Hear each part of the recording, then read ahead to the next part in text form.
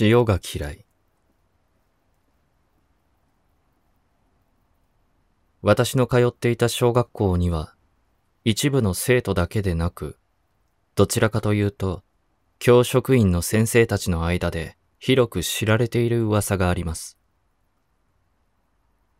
どの先生に尋ねても、妙に話が噛み合わなかったり、はぐらかされてしまっていましたが、共通して言えるのは、どうやら教員用トイレがやばいというのと、そこに女性の霊が出るらしいということです。何人もの先生が別々に、それも一人でいる時に限って、その教員用トイレから髪の長い女性がスーッと扉を開けることなく出たり入ったりしているのを見たというらしいのです。そして今からするのは、私が小学生の時に唯一、とても仲の良かった栄養士の先生から聞くことができたお話です。私の小学校は、建設の際に山の斜面を切り崩して建てたということもあり、構造が少し特殊で、学校の入り口から下駄箱を抜けると、すぐそこに体育館が広がっています。その体育館を中心に、各学年ごとに全く違う通路を通り、全く違う階の教室に向かうことができます。その体育館に面した廊下に、教員専用のトイレと、ちょうどその斜め向かいに食堂があります。自校給食である私の学校は、栄養士の先生と調理員の方たちが毎日その食堂の調理室で給食を作っています。給食委員だった私は、各クラスごとの残飯量の調査や食器返却の際にちゃんと片付けられているか、など、当番の日は他の生徒より早く給食を食べ終わって、その食堂に行かなければいけませんでした。何度も当番が回ってくるごとに栄養士の先生とも仲が良くなり、その日は何気なくお化けなどの話になって、どうやらその先生にも少し霊感があるらしい、ということが分かりました。そして私は、教員用トイレに出るらしい、というあの噂について聞いてみることにしました。すると先生は、髪の長い女の人の幽霊を、その食堂でもたびたび見かけることがあるらしく、あの幽霊はね、塩が本当に嫌いなんだよ。と言いました。どういうことかと尋ねると、先生が調味料を入れている棚を開けるときに、なぜか塩の入った袋だけが手前に落ちてくるらしいのです。それも一度だけではなく、しかもその塩が棚の手前にあろうと奥にあろうと関係なく、不自然に手前にポトッと落ちてくる。ということが何度もあったというのです。ある時は、しっかりと湿度と温度の管理ができているのにもかかわらず、買ってから二日もしないうちにカチカチに固まって使い物にならなくなってしまった。ということもあったらしいです。極めつけは、前日仕入れた新品の塩に黒い塊のようなものを見つけ、取り出してみると、人の長い真っ黒な髪の毛が束になって出てきたらしく、すぐに新しいものを買ってこなくてはいけなくなった、というものです。それからというもの、塩だけ使うその日その日に買ってくることになったそうです。私は子供ながらによくできた話だなと思いましたが、その先生の困りきった顔を見ていると、どうも嘘をついているようには見えませんでした。噂では、もともとその体育館横に学校を建設する際に、どうしても解体しなければならないお墓があったそうです。直接それに関係しているのかはわかりませんが、幽霊が塩を嫌うということが私の中で立証された。そんなお話でした。ちなみにこの話を打ち込んでいる際に、二度ほど端末が固まり再起動しなければならず、普段そんなことはありませんでしたので、諦めかけました。最後まで読んでくださり、ありがとうございます。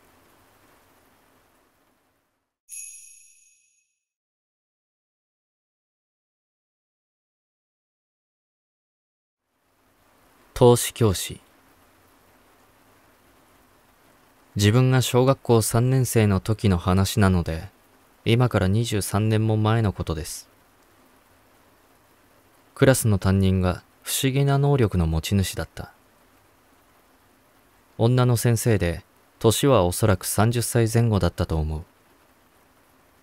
先生が授業中に生徒の方に背を向けて黒板書きしてる時とかってよく目を盗んでいろいろいたずらしなかった。友達同士で手紙回したり何か物を投げたり一瞬立ち上がって歩いたりなどなど。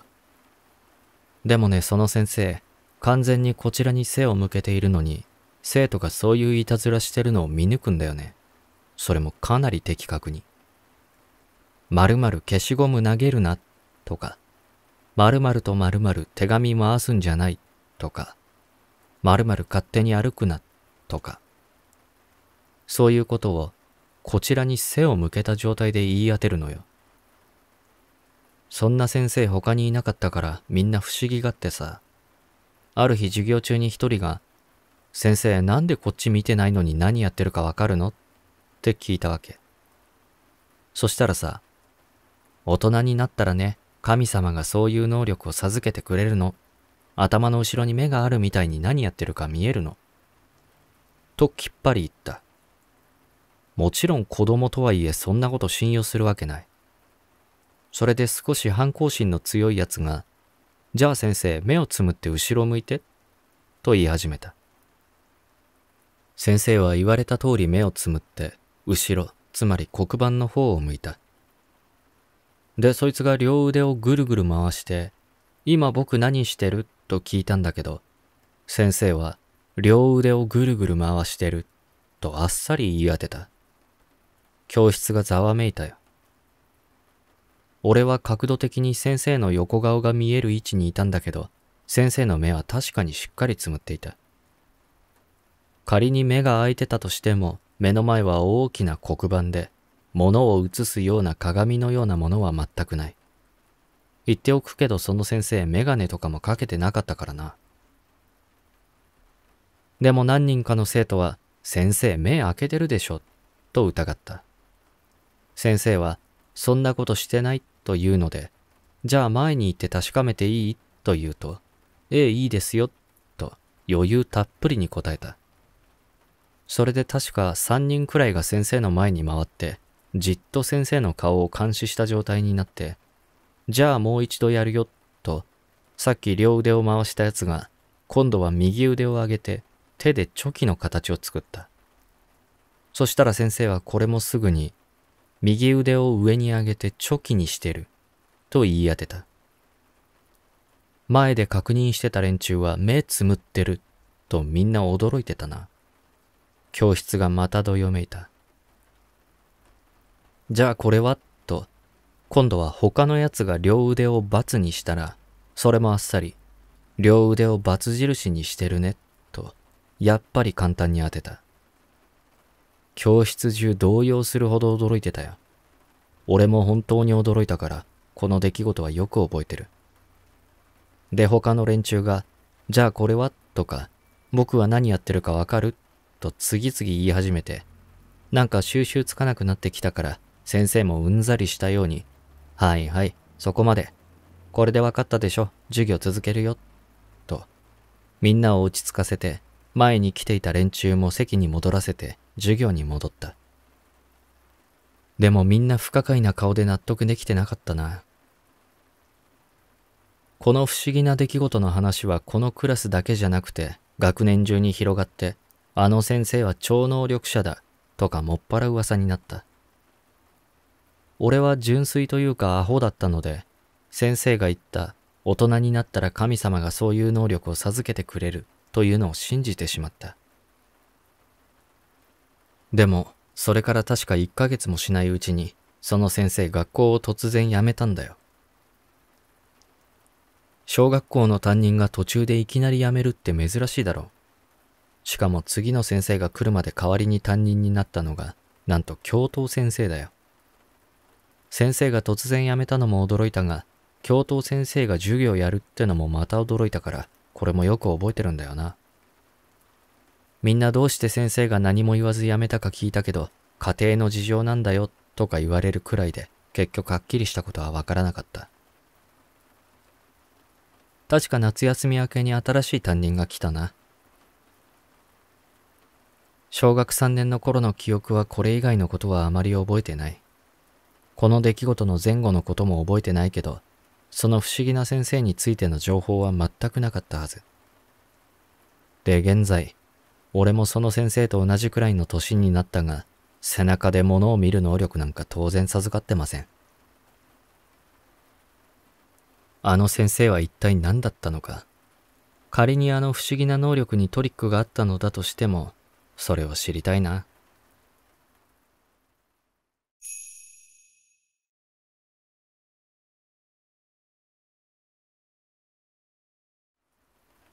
竹林の女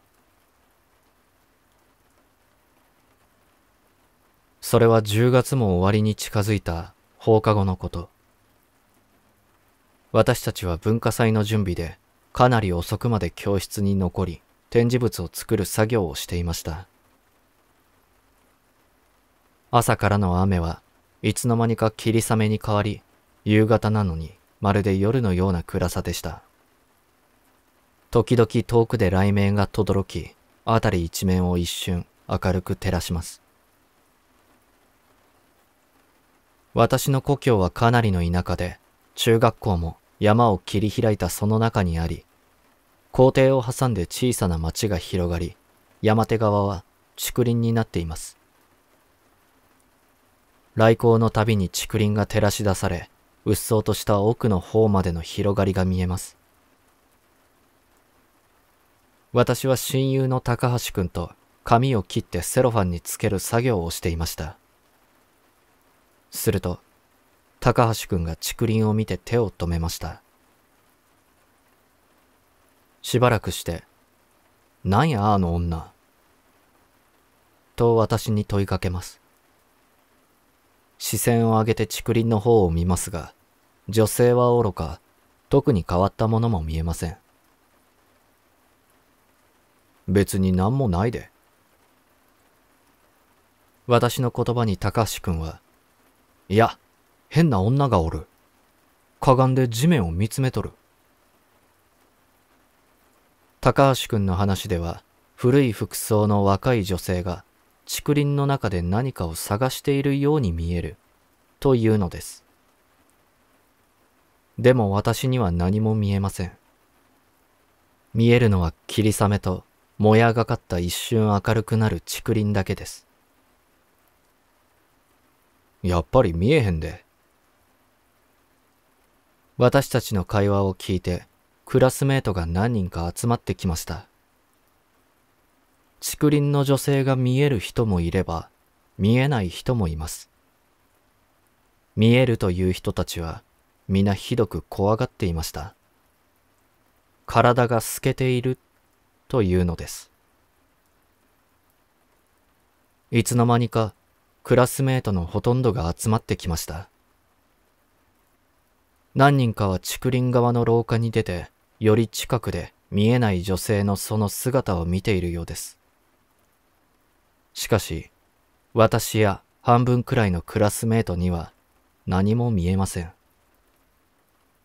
そこへ担任と隣組の先生がやってきました。お前ら何してるんや、作業せえよ。担任の勝田先生が言います。年下の隣組の先生は腕組みをしています。高橋くんがつぶやきました。あそこの竹のとこに変な女がいるんです。指さす方向を見た担任は、雨降ってるだけやないか。タケノコでもおるんか。と笑います。か、勝田先生、あれが見えんとですか？隣組の先生が腕組みを解き、後ずさりながら言いました。スケと女です。中途半端な笑い顔のまま、勝田先生は、それでももう一度その方向を見ます。いや、見えんが。みんな見えとるの？はい、見えるとです。雨がやや強くなり、ほとんど夜の暗さになった教室に、さっきまで騒いでいた生徒たちも静かになり、その方向をみんな見つめています。女生徒の怖くてすすり泣く声だけが聞こえます。見えない生徒たちも、その不気味な雰囲気に何も言うことができません。突然大きな雷光が辺りを照らし出しました。と同時に、生徒たちや隣組の先生が悲鳴を上げました。うわこっちに来よる見える生徒たちが悲鳴を上げながら教室を逃げ回ります。廊下の生徒たちも恐怖で泣きながら慌てて教室に入ってきます。なんじゃこりゃと、隣組の先生もまるでジーパンデカみたいな声を上げてでも体が動かないのか、そのまま立ち尽くします。教室には怒号と悲鳴と泣き声の生徒たちが逃げ惑います。まるで長い時間のように思えましたが、実際は数十秒だったのでしょう。やがて、消えた、と誰かの声が聞こえ、教室にはパニック状態だけが残りました。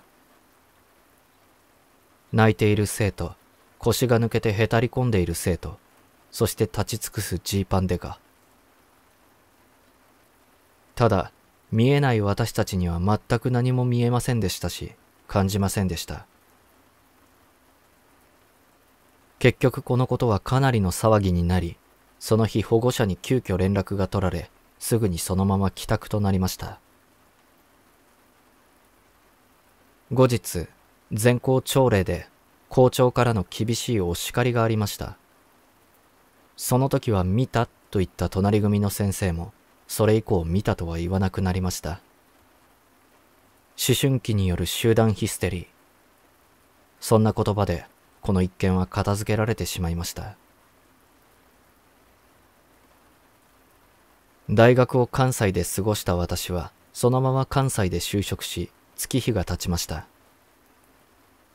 まだ交友が続いている高橋くんが所用で関西に出てくることになり、大阪の梅田で久しぶりの再会を果たしました。まあメールや電話でのやりとりは結構あるので、まあまあの感激でしたが。私は二人で飲みがてら、あの時何が起こったのか、長年気になっていることを聞いてみました。あの時、竹林で何かを探していた女は、来光とともに、滑るように教室の方角に向き直り、そのまま、スーッと、こちらに移動してきたそうです。古いもんぺ姿に何かを入れた袋、うつろな瞳、着物のかすり模様まではっきりと見えたそうです。そしてそのまま、廊下の壁と窓をすり抜け、教室の窓もすり抜け、そのまま空中で雪が溶けるように消えたそうです。お前ほんまに見えたんか？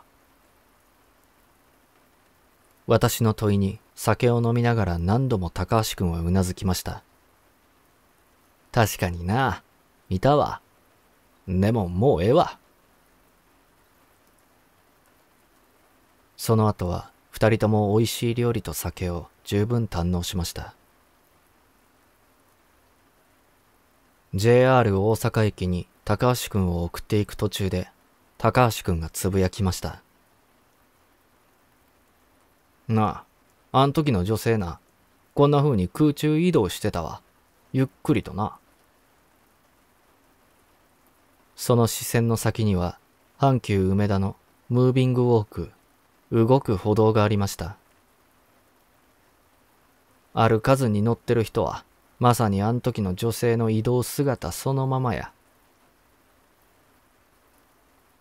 大阪駅のいつも私が行かない長距離用のホームで、高橋くんは笑いながら、私の肩をグーで軽く殴りながら何回も言いました。また帰ってこいよ。地図急乗ってな。待っとるよ。あの怖かった経験も、今では、ふるさとの甘い思い出なのかもしれません。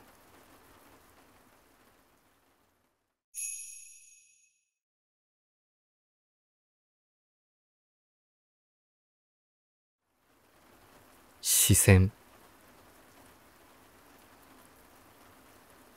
私が高校に通っていた頃の話その高校の特別棟は教室棟と比べるといささか古いのは確かだがそれにしてもとにかく暗かった。なぜ暗いのかはわからないし友達にそれを伝えても日当たりじゃない？と適当に流される。そして、特に嫌な場所として認識していたのが、3階にある男子トイレだった。2年生の2学期も終わりに近づき、冬休みが迫ってきた。そんな時期に、放課後の清掃の担当がそのトイレになった。まあ一人ではなく班で、しかも比較的仲のいい友人もいたので、さほど不安はなかった。しかし、掃除の説明をしていた先生がこんなことを言った。小便器の水は流さないでください。流れなくなっているので。普通こういう時って詰まっているからとか理由を話すじゃないか。なのでどうしてと尋ねると用務員さんも理由がわからないらしくてな。今度業者を呼ぶんだ。とのこと。そんなこんなで清掃が終わり、はい解散となった。しかし、そこで私は催してきたので、そのトイレに入ってしまった。突然の便意で慌てていたので、大便器に腰掛け用を足すまで、先ほどの話や嫌な感じのことは忘れていた。用を足し終え、ほっとしたと同時、背筋がゾクッとした。何かの気配と視線。入り口の扉は開けるときにギーッと音がするので、誰かが来れば気づくはず。しかも、気配と視線は一つではなかった。さらにその気配は、扉の先からこちらの位置を見抜いている。無数に近い視線が正確にこちらを射抜いている。恐怖で音を立てるのが恐ろしく、しかしここにずっといたくはなかったので、静かに髪を巻いた。そして拭いた後、流すと同時に飛び出し、目をつむり、走って外に飛び出した。それからは掃除の時以外は極力近寄らないようにし、決して一人で入ることはしなかった。冬休みが明けて、3学期の初めての掃除は、2学期の清掃担当場所と同じ場所。長い休みを経ても、その場所に行くと、あの視線が思い出されそうで、内心嫌々だった。しかし、あの嫌な感じは、どこか薄まっているように思えた。先生が来て掃除を始める前に、小便器流せるようになったから、とさらっと言った。私が聞く前に友人が、何が原因だったんですか？と尋ねた。すると先生は、罰が悪そうな、言いたく情けな顔をして、冬休みの間に業者の人が来て、パイプの様子を見るためにこのトイレの天井に登ったんだ。そしたら、いろんな種類の鳥の死骸があたり一面に散らばっててな。とりあえずその業者と用務員さんがそれをどかしたらしい。そしてパイプを調べたら異常はなし。試しにボタンを押したら水が流れたそうだ。あの視線は鳥たちのものだったのか誰かにここにいることを知らせたかったのかしかし不気味な謎が残ります。どうして鳥たちはあんな場所で固まって死んでいたのでしょうか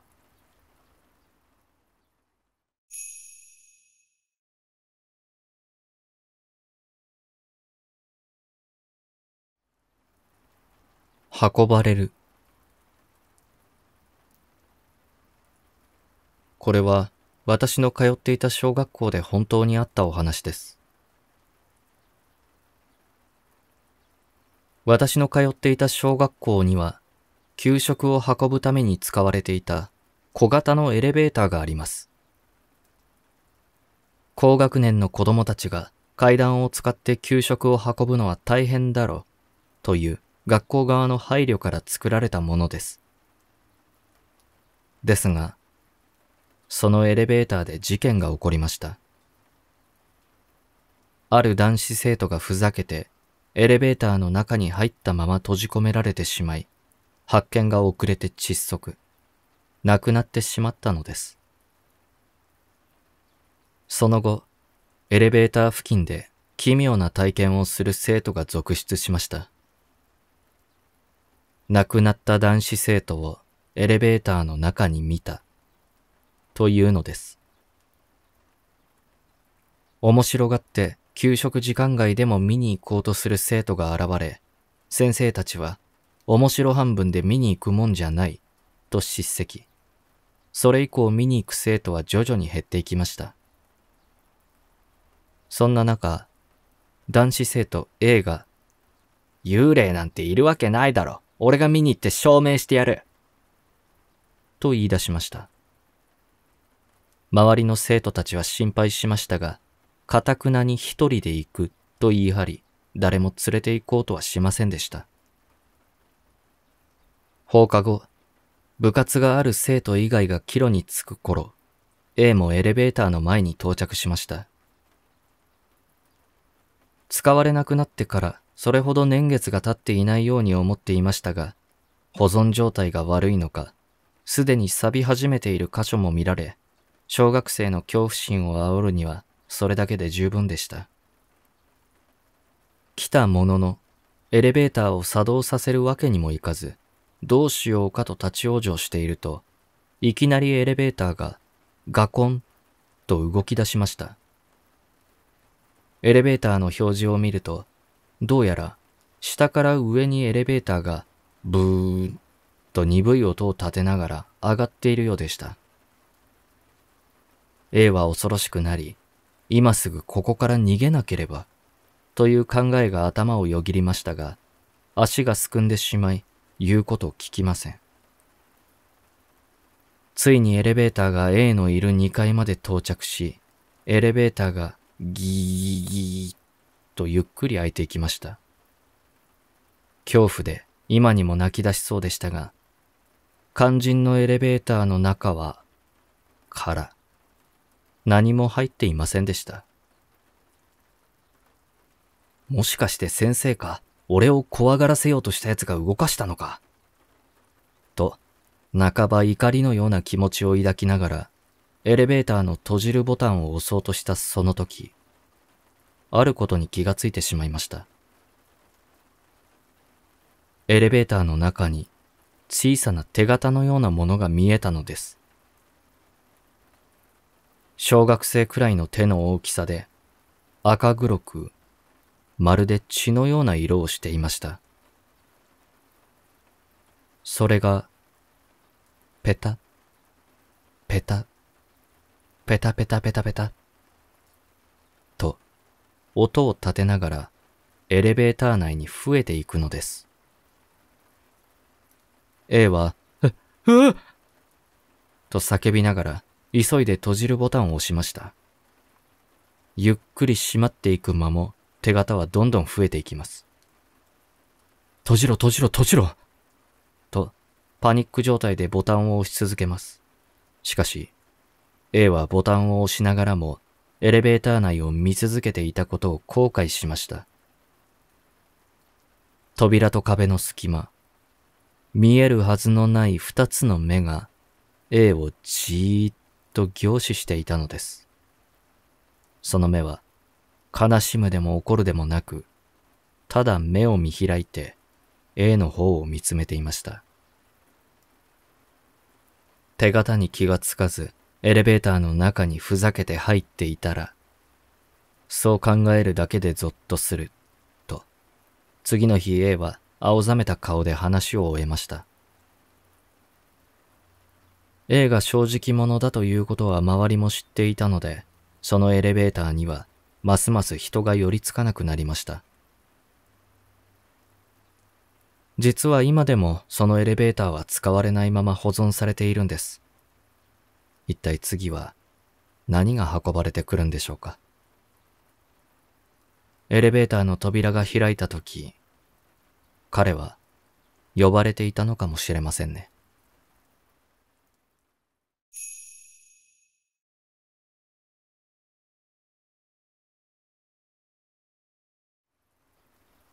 早起きは三問の徳。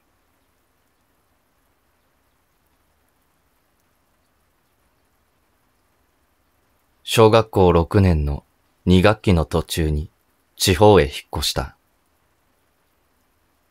転校をするのは初めてのことだった。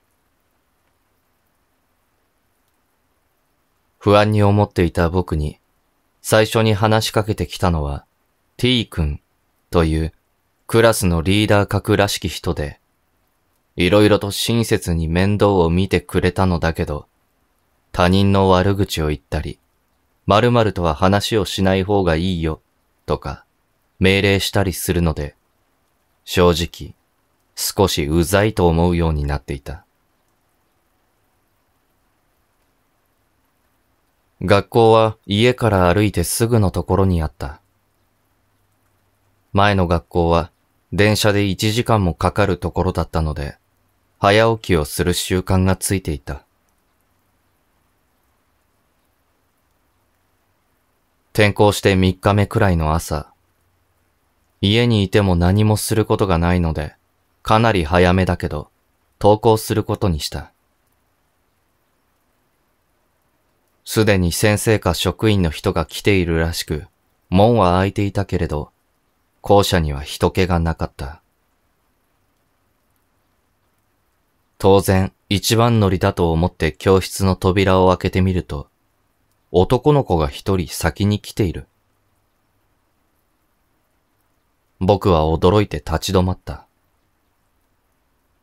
その男の子の座っているのが僕の席なのだ。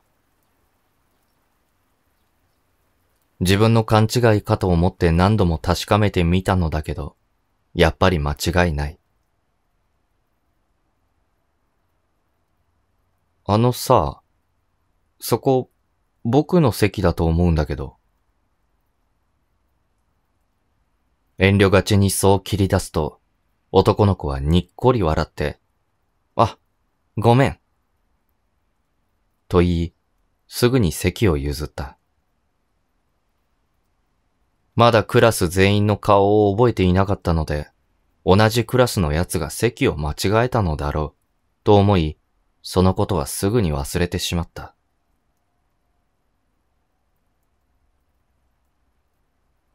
一週間くらい経って、また早起きをして学校へ出かけた。教室の扉を開けると、この日も、この前の男の子が先に来ていた。しかも、また僕の席に腰掛けている。この時には、この子が同じクラスのやつではないと分かった。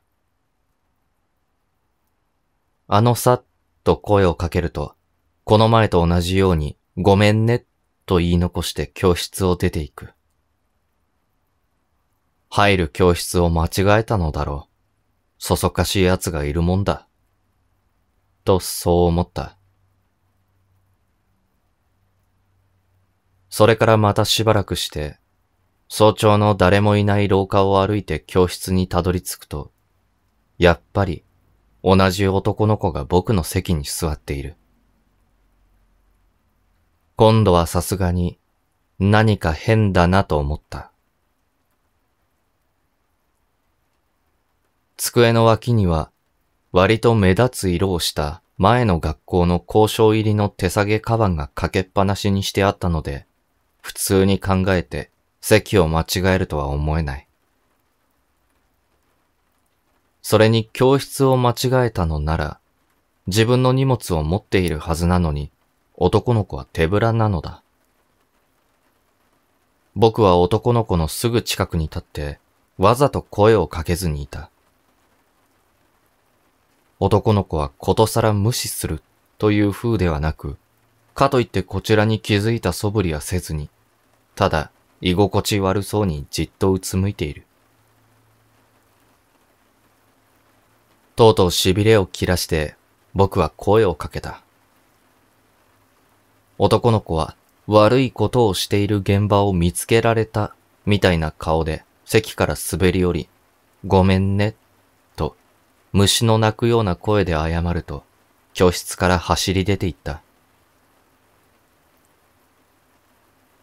その日の休み時間に、朝学校に来たらなんか変な奴が俺の席に座っていてさ、と話をした。それってどんな奴だった ?T 君が尋ねた。えーと、背はかなり小さい方で、なんか弱そうな感じだった。おどおどしてるっていうか。髪の毛は割と長めで、あと、首のここのところに赤っぽいあざがあった。十円玉くらいの大きさの。というような悲鳴を、そばで聞いていた女子が挙げた。T 君が僕の胸のあたりを殴りつけた。お前なんだよ。ふざけんなよ。どうしてそんな嘘つくんだよ。真っ青な顔でそう言うと、教室から出て行った。僕が転校してくる3ヶ月ほど前に、N 君という男の子が自分の住んでいるマンションから転落死した。僕の机は、もともとその N 君が使っていたものだったのだ。僕が転校してくる前日までは、その上に花瓶が乗っていたそうだ。警察は事故死と判断したが、あれは自殺だったのでは、と、生徒たちの間で噂になっていた。N 君が T を中心とするグループからひどいいじめを受けていたことはみんなが知っていた。4年生くらいからずっと続いていたらしい。N 君の死を担任が報告したとき、やった。これであいつの鬱陶しい顔を見なくても済む。すげえ嬉しい。と、T は言い放った。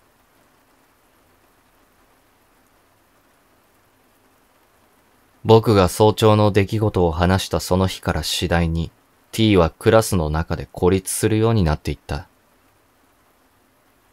あの時のことがきっかけになったかどうかはわからない。ただ、単にみんなが大人になってむやみに威張り散らしたり陰口を叩いたりすることの低劣さに気づいたのかもしれない。卒業式の頃には T はクラスの誰からも相手にされなくなっていた。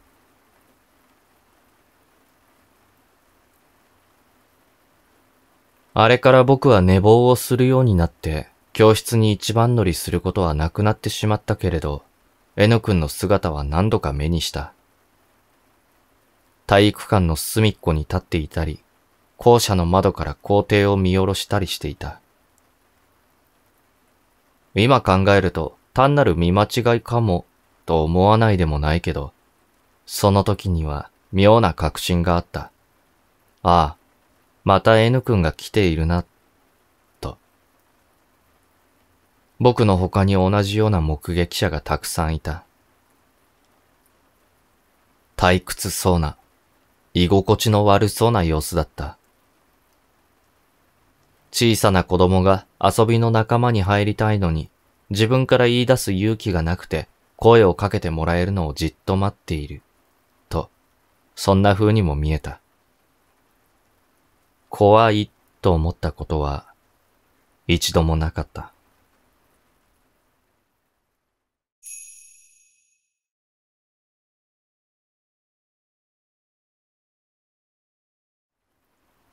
クラス替えアンケート。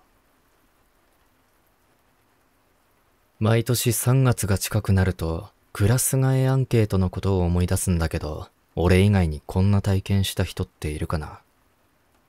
俺が小学校4年生の時の話で当時通う小学校は結構な大規模校で毎年クラス替えがあった。春休み中3月の終わりに先生方の離任式があってその時に体育館に新しいクラスの名簿を貼り出すんだけど、親友や好きな女の子と一緒になりたいとか、毎年すごくドキドキしたことを覚えてる。その年、3学期の2月に入ってすぐ、俺に一通の封書が来た。クラス替えアンケートという文字が表に大きく印刷され、教材会社の主催になってたけど、これまで調べた限りでは、その名前の教材会社は存在しないんだ。中身はどんな内容かというと、俺の小学校の4年生の中で、絶対に同じクラスになりたくない人の名前を1名書いてください。というもので、それを出した人には文房具のセットが当たるかもしれない。ということだった。当時俺は雑誌の検証に応募するのが趣味だったし、返信用のハガキが入っていたので、特に変だとも思わず、同学年で一番嫌ないじめっ子の名前を書いて出してやった。実は俺はその名前を書いたやつと家が近所で、登下校でよく嫌がらせをされていた。別のクラスだからまだ良かったものの、同じクラスになれば本格的ないじめを受ける可能性があって、絶対に同じクラスにはなりたくないと思っていた。5年生は6クラスあるから可能性は低いんだけど。その後すっかりそのアンケートのことは忘れていたんだけど、3月に入ってすぐに同じ名前の教材会社から大きな封筒が届いた。それで前のアンケートのことを思い出したんだけど、内容は俺に文房具セットが当選したというもので、そこまでは不思議はないんだけど、その文房具セットが送られてくるには条件があって、一つやってほしいことがある、と書いてあった。それから、俺が名前を書いてやったいじめっ子とは同じクラスにはならないだろう、ということも書かれていて、まだクラス替えの先生方の会議も行われていない時期のはずだったので、それはちょっと不思議だった。その封筒の中には一つ、厳重に和紙でくるまれたお守りのようなものが入っていて、その表には、俺の住んでいる地域から遠く離れた県名と知らない小学校名、それから5年生という文字と、やはり知らない男の子らしい名前が、気味の悪い赤い字で大きく書かれていた。それを、俺の住んでいる地域にある神社、これは古くて由緒があるけれど、大きなところではなくて、ほとんど普段は参拝する人もいない、忘れ去られたようなところなんだけど、そこの境内にある松の木に、3月8日の午後9時以降に、釘で打ち付けてほしい、という内容だった。それをやったら、検証のセットを送ってくれる、ということみたいだった。それからその封筒は、前に来たものと共に一切が済んだら近くの川に流してほしい、とも書かれていた。これはすごく不思議で、最初は仲の良かった中学生の兄に相談しようと思ったけど、封筒にはこのことは誰にも話してはいけない、と書いてあったのでやめにした。神社は自転車で5分程度のところにあり、そのお守りのようなものを釘で木に打ち付けるのは難しいことではない。雪の降る地域でもないし、寒いけど9時過ぎに15分ほど家を開けるのは何でもなかった。その封書とお守りは自分の勉強机に入れておいた。3月8日になった。俺は手紙の依頼通りにやることに決めていて、夕食後9時を過ぎてからそのお守りとどこにでもあるような釘と金槌を持ってグランドコートを着て自転車で神社に出かけた。その神社は住宅街のやや小高い丘の上にあって、俺は下で自転車を降りて幅の狭い石段を登っていった。石段にも神社の境内にも一つずつ街灯があったので、暗いけど足元は見えた。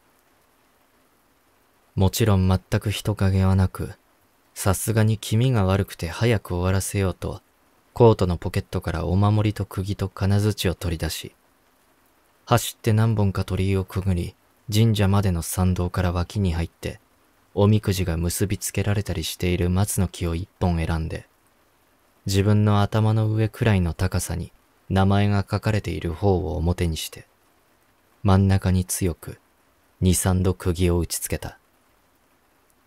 すると、手の中でそのお守りが微妙に動いた感覚があって、俺は思わず手を離したけど、お守りは木に固定されて落ちなかった。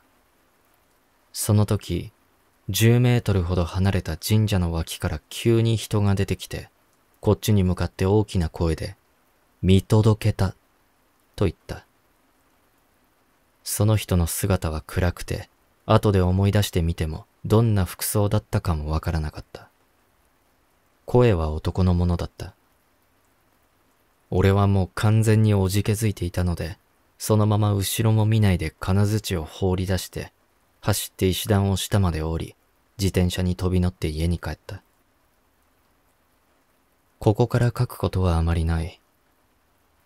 俺がアンケートに名前を書いたいじめっ子は、その一週間後に自転車に乗っている時にトラックにひかれて死んだ。封書などは指示通り近くの川に流した。4月に入って有名なデパートから立派な文房具セットが送られてきたが、封書にあった教材会社名はどこにもなかった。その後一回も連絡はない。神社には何年も立ち寄らなかったので、木に打ち付けたものがどうなったかわからない。金槌をなくしたので、親父に後で叱られた。一番気になるのは、そのお守りに名前があった知らない奴だが、どうなったかはもちろんわからないし、調べてもいない。改めて書いてみるとやっぱり奇妙な体験で、すべて自分が想像で作り出したことのような気もする。文房具セットは兄に随分羨ましがられたけど、単に検証に当たっただけなのかもしれない。こんな経験をした人って他にいるんだろうか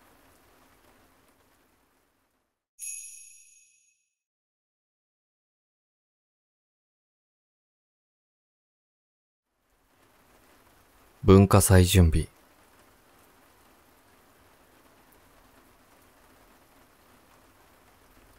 俺の高校は東京の某都立高校。10月の文化祭シーズンで高校2年の俺は文化祭実行委員だった。俺は同じ委員の先輩に結構可愛がられてたんだけど、俗に言う見える人だった。その先輩は子供の頃から霊が普通に見えて、しょっちゅう親に神社へ連れてかれて、お祓いを受けてないとまともに生活が送れないような幼少期を過ごしてたらしい。俺と出会った時はすでに対処方法とかも心得てて自分で対応してた。俺は俺で子供の頃から水木しげるの大ファン。たまに見える聞こえるくらい。先輩がそっちの人だって知った時は嬉しくて色々話を聞いてた。先輩の話によると、どうやらうちの高校自体が結構出るところらしい。中でも体育館。霊道っていうのかな。霊の通り道にあたるらしく、通りすがり的なものもいれば、居ついてるのもいるらしい。文化祭前日の放課後。俺、先輩、A、B、C の5人で体育館の舞台上の飾り付けやどんちょうの整理をしていると、先輩が俺のとこに来て、〇〇くん、小学生の子がいるけど気にしないでね。って言ってった。一瞬何のことかわからなかったんだけど、とりあえず、はい。って感じで生返事をした。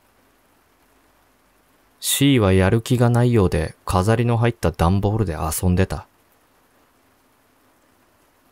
それから1時間くらいかな。黙々と和気あいあいの中間くらいの雰囲気でみんなで準備を進めてて、すっかり夕方が終わろうとしてた。幕を下ろした状態で舞台下手側で作業をしてた時に、何してるのかな？上手側から同級生の A の声がした。声の方を見てみると、下手側の俺と対象の作業をしてた A が幕の縁から顔だけ出した女の子に話しかけてた。一緒に作業してた B も A のところで女の子に話しかけてる。C はその横で椅子に座ったまま寝てた。舞台の横幅自体が結構あるのと、俺の視力自体が結構悪いのもあって、女の子の髪型とか表情はほとんど見えなかったんだけど、話しかけてきてる A と B を見てたと思ったら、急に首をぐりっと回して俺を見た。動きの気持ち悪さに俺は一瞬引いた。物理的に無理な動きをしたわけじゃないんだけど、グリってが、グリンって擬音がちょうど良さそうな動き。うえって思った瞬間、女の子が似たって笑った。距離は結構ある。俺の目は悪い。でも、似たと笑ったのがはっきりわかった。ものすごい違和感に混乱してたら、女の子の口が動いた。遊ぼう？って。声だけが耳の横で聞こえた。女の子の可愛い声だった。相変わらず A と B は女の子に話しかけてる。俺一人が異様に感じてるのか、一人でテンパって混乱してた。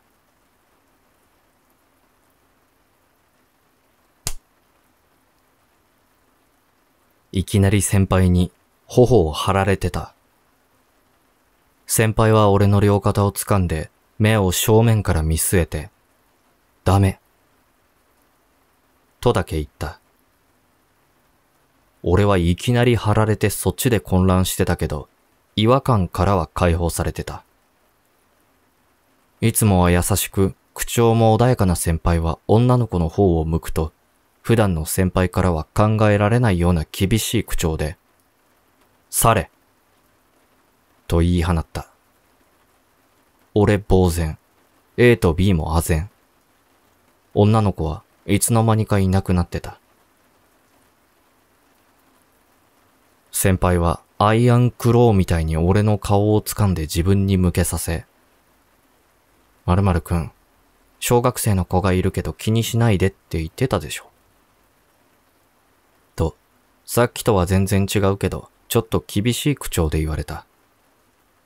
どうやら、A と B が普通に話しかけてた女の子が、先輩の言ってたその小学生の子だったらしい。あんなにも普通にあっちの世界の人がいたことに俺はびっくりした。A と B は突然子供を怒鳴りつけた先輩に若干怯えつつ、仕事をサボっていたことを咎められたと思ったらしく、いそいそと作業に戻ってた。そこに舞台の下手側から C が帰ってきた。D 戦超ムカつくんだけど、説教長すぎ。もう夜じゃんさ。おかしい。C はいつからいなかった ?C は仕事を全くしないで、遊んで飽きて寝てたはずなんだ。俺、A、B、呆然。C 君、バリバリ仕事しないと明日に間に合わないよ。えーす、遅れてすんません。先輩は何事もなかったように普通に C に指示を出してた。5人は黙々と作業した。明日の文化祭は体育館での集会から始まる。朝の集会用のセッティングとして二人一組になって舞台の両サイドにある短いバトン、幅の短い幕を吊るやつの幕を交換してたとき、壁に固定してるワイヤーをほどいて一本ずつ舞台上に下ろしてた。壁にカーテンを固定するのに似たフックがあって、それにワイヤーが巻いてある。バトンは上下2本ずつ、下手は俺と先輩、上手は A と B、遅れてきた C は中央に吊る文化祭のパネルの準備をしてた。バトンはそれなりに重く、ワイヤーをほどいた後にゆっくり下ろすのは力がいるので、女の子にはちょっと不向きな作業だ。分担は俺がバトンの昇降係、先輩が幕を付け替える係。一本目を下ろして先輩が付け替え作業をしてる時にさっきの女の子のことを聞いてみた。ここ一年くらいかな。たまにいるんだよね。普段はバトンの上にいてね。話の途中で天井付近のバトンを見上げるとうっすら女の子が見えた気がした。先輩。普段は見てるだけなんだけどね。今日は文化祭控えて気が立ってるのかなそうなんですか。と、二人で上を見上げたとき、視界途中で別のバトンのワイヤーがほどけてくのが一瞬見えた。やばいと思った瞬間には、猛烈に上に引き上げられてくワイヤーを掴んでた。バトンは先輩の頭上50センチくらいで止まった。先輩はドラマで車に惹かれる役みたいに両手を縮こまらせて固まってた。俺の手は火傷なんてもんじゃなく手のひらの皮が一直線にベロンと言ってた。上を見上げたけど女の子は見えなかった。こっちの騒動を見てた三人が走ってきて、大丈夫か？保健室行けってなやりとりがあって、危ないからバトン作業は一本ずつ全員でやってこうって話になった。俺は保健室に行こうかと思ったけど、一人で校舎を歩くのが怖かったので遠慮した。そこから作業を終えるまで女の子は出てこなかったし、C は C のままだった。これが、俺の文化祭前日の謝礼にならない、人が死んだかもしれない怖い話。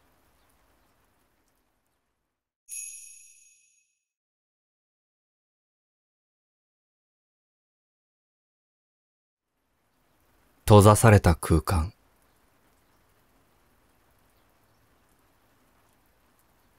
神奈川県 Z 市にある Z 高校に通っていた頃の話。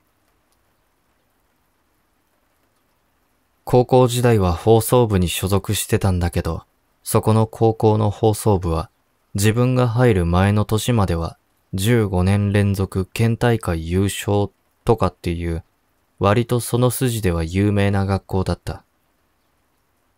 そんな部だから、大会前ともなると、最終下校くらいまで当たり前のように活動するのよ。ある夏の日、いつものように遅くまで残って作業をし、そろそろ帰ろうってことになった。トイレに行きたかった自分は、部室を片付けてから先輩や同級生に先に学校を出るように告げてトイレに向かった。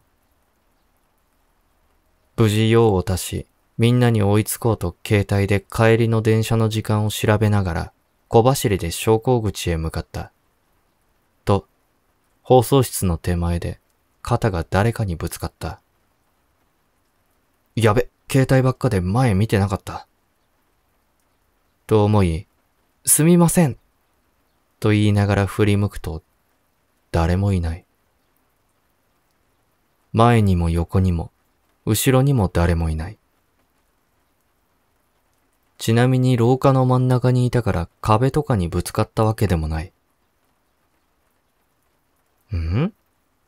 確かに誰かにぶつかったのになと思いながらも、みんなに追いつきたいから先に進もうとした瞬間、思いっきり顔面をぶつけた。しかも何もない空間に。さらに顔面をぶつけたであろう空間を境に一歩も前に進めない。大混乱に陥った自分は慌てて反対方向に進んだ。しかし、ちょっと歩いて、また顔面を強打した。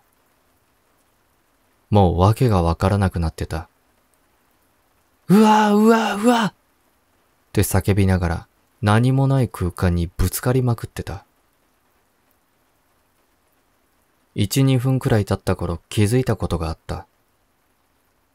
だんだんと空間が狭まってきていた。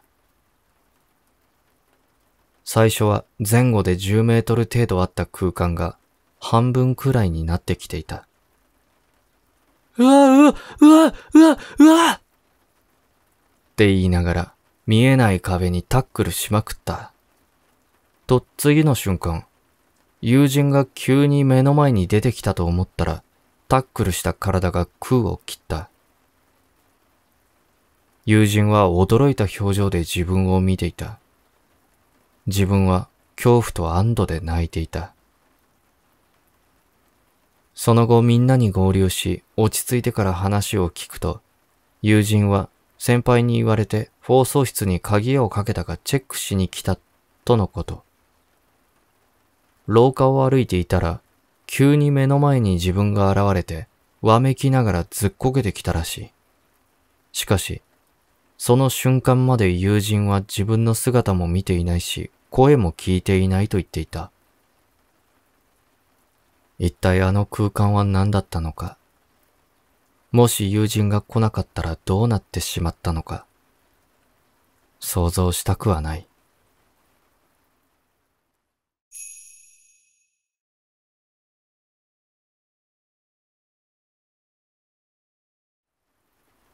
上の階